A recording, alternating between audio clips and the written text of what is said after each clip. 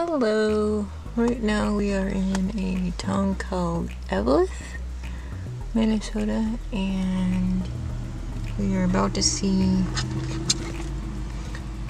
the world's largest hockey stick.